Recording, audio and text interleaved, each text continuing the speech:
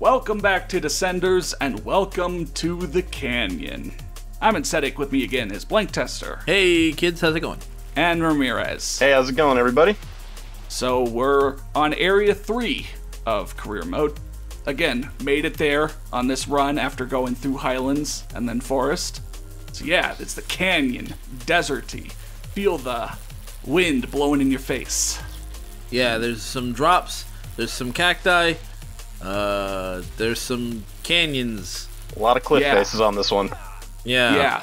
So this area after the forest, this area really opens up again. Like you can just see uh, around you and see in front of you mostly a whole lot better than you could in the forest. Now that doesn't mean you can race around at, you know, top speed because there will be shit in your way and there will be uh this this area does more have sections where the trail you're riding on is like the top of an embankment and if you fall to the either side you're gonna hit something and bail Yeah, th- So, this one is kinda need to be definitely like precise. the first environment that teaches you, like, even if it is like wide open, you probably should try to stay on the track, or else you're gonna fall off a cliff somewhere. Yeah. yeah yeah Ooh, showing Oh off my there. god. Um, yeah some people can ride fakey like really well in this game i can't i I can't even. Yeah. I, I was just trying that because i had again a bank of lives but like yeah don't yeah, don't fuck around with it. yeah i This is a weird one. That that stunt right there tripped me up so bad the first time I got there. Because Yeah, like the- I, I wasn't sure what the timing was on that, but like once you get the timing, it's so satisfying. Uh, until you immediately mess it up again. I'd That's say the thing with yeah. the thing with the tabletops is that I uh, uh, across the board I'll gain confidence and then lose confidence again in those. Like I'll figure them out and then I'll try and jump onto one and just slam my guy into it and lose a life and lose like 2000 rep and go, "Okay, I'm not messing with those the rest of the day." kind of weird. But yeah, so then also compared to the forest, which maybe had, you know, one or two unique stunt jumps, uh, Canyon has quite a few. So if you pick some high stunts tracks, you'll see some pretty cool set pieces and setups. Yeah, that, that's well kind of even just the why. normal jumps like that- that's kind of why I love Canyon as my favorite environment in the normal career mode, just because of the sheer amount of variety that Mm-hmm. it has when you have high stunts on it. Like, 'cause there's there's tons of fun stunts to do on this one. And there's also tons of fun to be like you can make your own fun off track a little bit better because it is kind of hilly and the hills are small enough to just be ramps. right. You know? Yeah. It's sad that you didn't get those clean landings, my dude. Dude, whenever I get clean landing challenges, that's like the one thing where suddenly when I get those, I cannot actually get clean Oh yeah, yeah, I've had that happen many times too, where it's like I can pull clean landings off everything, and then the second I get that challenge, it's just like you can't do it anymore. Yeah. Yeah. All right, so Pressure's here's here's kinetic on uh, Canyon, Ooh. and uh, Hey, but you got the top speed. Yeah, you did. honestly, honestly, the most reliable way to get those top speeds. But I want to do this level without crashing. The most reliable way to get those top speeds is to get yourself careening towards something in a way that you know you'll die. Like I am so bad at getting the top speeds and living while doing so, especially when you get to the final area and it, it, you know gets up to get 80 kilometers an hour, get 85. Yeah. Oh, I should mention kind of like the the certain speed levels. Just what I mean by that is once you hit 50 kilometers an hour, and uh, metric is by default in this game. Once you hit 50 kilometers an hour, that's when you go in, start going at high speed. You start getting rep for that, and you can, you know, unless you're trying to hold the accelerator for an optional objective, you can let off the accelerator because you are not contributing to your speed anymore. Like, gravity is doing all of that. If you're going 50 kmh or above, you'll just keep doing that. 50 uh, kilometers an hour is also where you start getting reputation for going at high speed too. Yeah. Yeah, yeah. Um, so, I don't think we've so- talked about the medic camps yet. Oh, well, medic camps uh, will give you one HP even if you don't do the optional objective when you complete them. So, hey, if you do the optional objective and don't lose any lives, you'll gain two health Yeah. overall. which is very difficult as I found because like a lot of the medic camps I've seen have just been like extremely difficult to complete.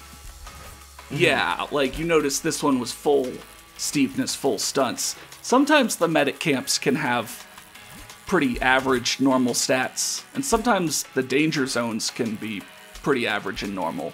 But most of the time, medic camps and danger zones will, you know, be be tough, have Yeah. high steepness or something. I mean like that that's what you get with uh, procedural generation.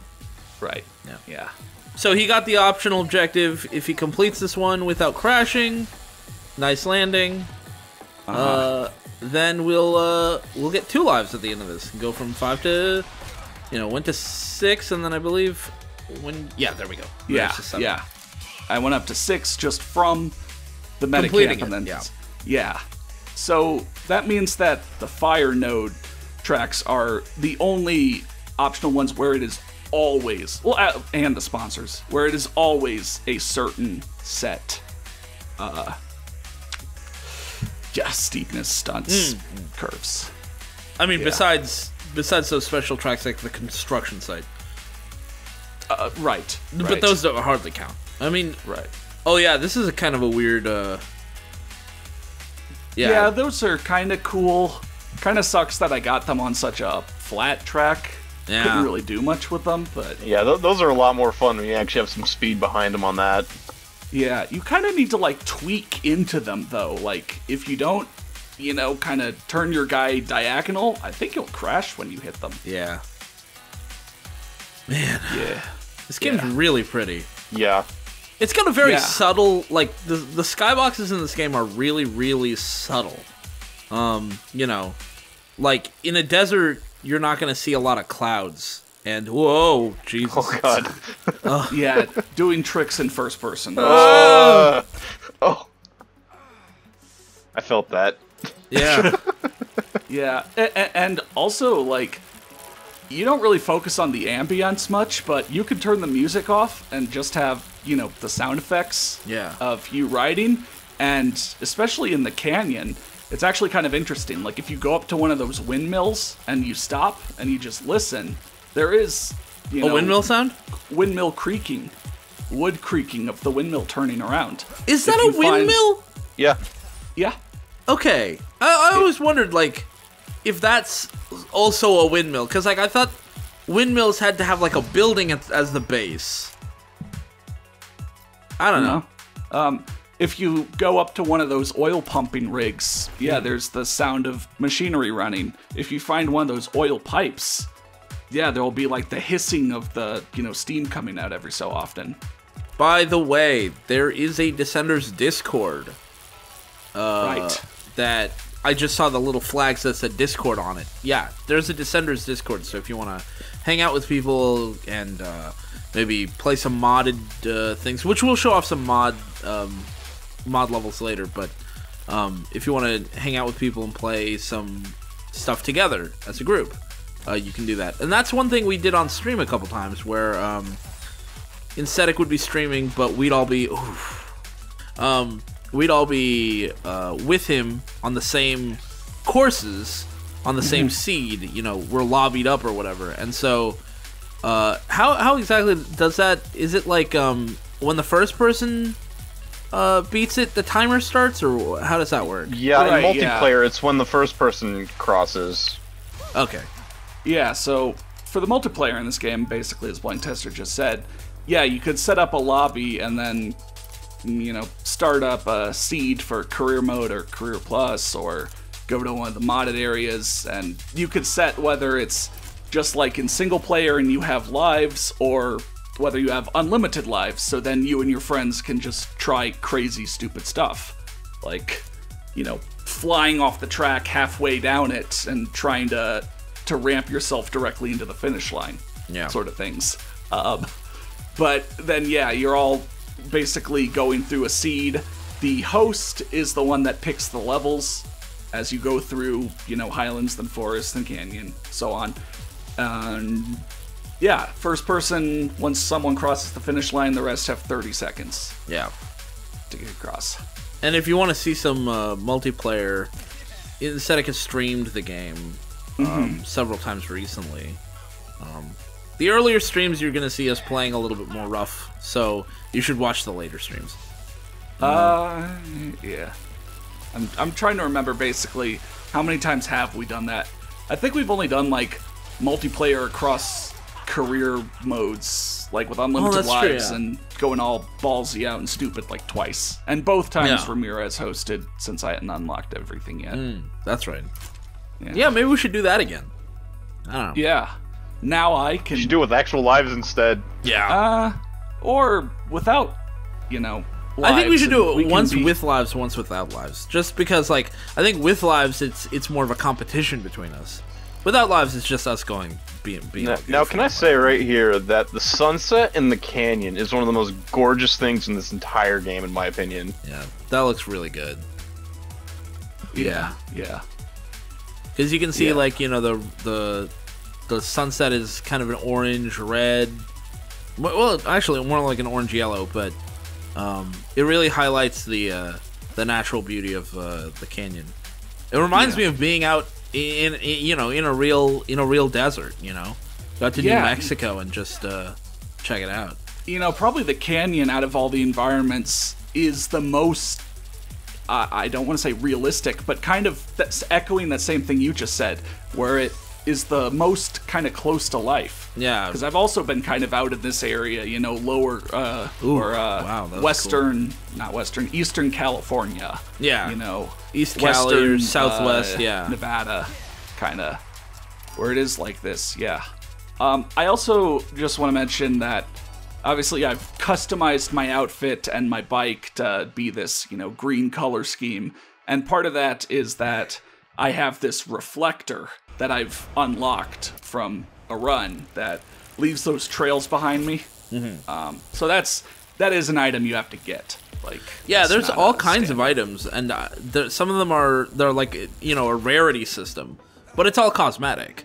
Um, I mean, I guess the trails might give you some kind of advantage in some minor way, but like mm.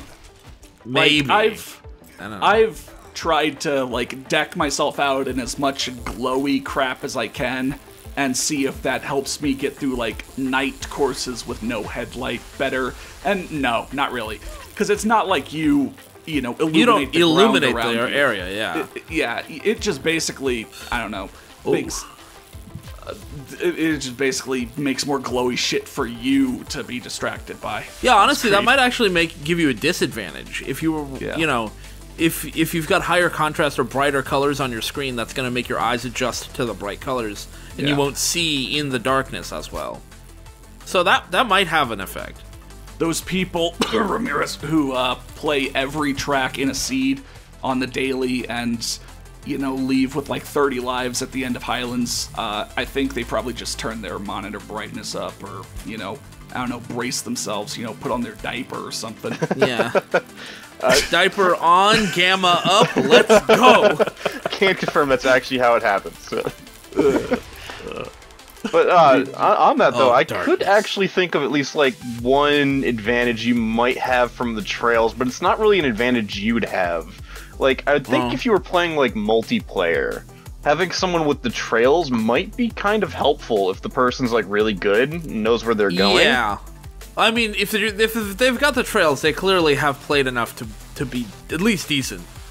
You know, so like a new Yeah. player might be able to follow somebody with trails and and and kind of go where they go. But of course, you'll end up making the same mistakes or worse. Oh my god, That was wow. that was scary. but like, look at this. Like this this reminds me of like an old uh like an, an old western.